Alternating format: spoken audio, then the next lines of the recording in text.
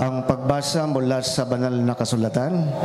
Mga kapatid, aming isinasamo sa inyo na inyong parangalan ang mga tamad. Pangaralan.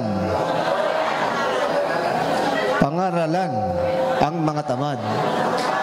Ang ganda sa pakiramdam. Parang humihiwalay yung espiritu mo sa katawan mo. Oh, maliwanag na buwan, di niya naman, ako'y nagdaramdam. Pag hindi na matiis, isang gabi ako'y alis, itaga mo yan sa bato. Pag ako'y wala na sa'yo, tandaan mo ito'y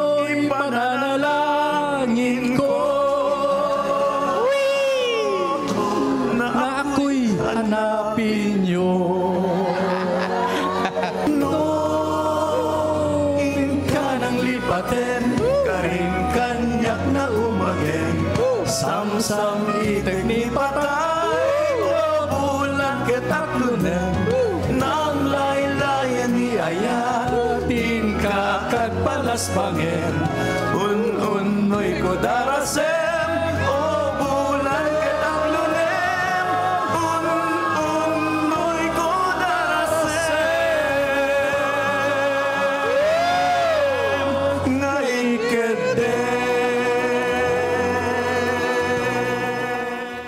Kami po yung pinaka bunso ninyong kapatid. Kapapanganak lamang namin noong September 23. At kinilala po kahapon lamang. Kilala niyo po ito. Kapag ka meron kayong kailangan sa dugo, siya po ay hindi lamang krus sa apelyido, kundi kasama pa sa red Mula po sa lalawigan ng Bataan, ang bayan ng matatapang at mga bayani na hindi umuurong sa laban.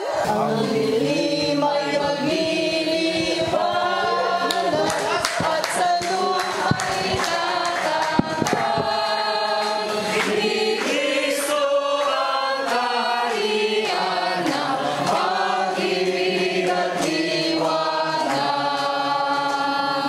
Kung may krus kayo sa bataan, kami Toma Cruz. Dahil ikaw,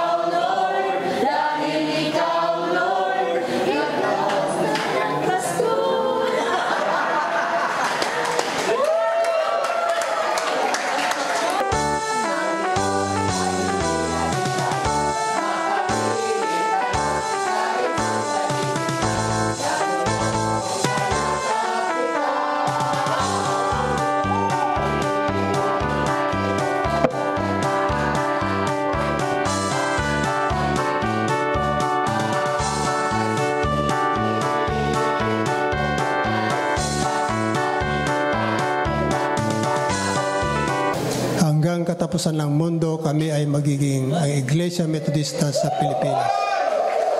Ang West Central Luzon Methodist Regional Conference ay nangangarap na sa loob ng apat na taon, magiging triple ang bilang ng aming local churches. Taos puso po namin ipinapaabot sa inyo ang aming pong pagbati sa ikalimang taong sa ikalimang taong iglesia. Marami pong limang anibersaryo. Tayo. Standing, standing, standing on the promises of God, my Savior. Standing.